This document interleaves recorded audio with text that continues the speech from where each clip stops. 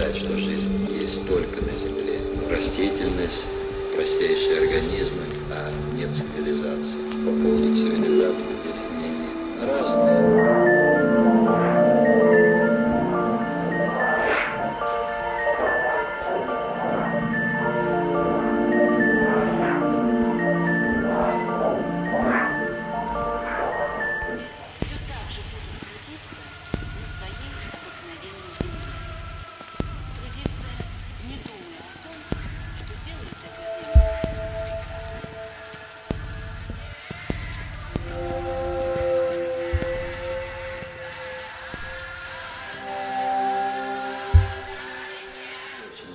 Что такое квазары.